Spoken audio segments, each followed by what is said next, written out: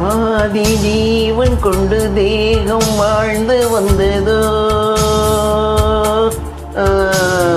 நீதி ஜீவன் என்னை பார்த்த போது வந்ததோ? ஏதோ சுகம்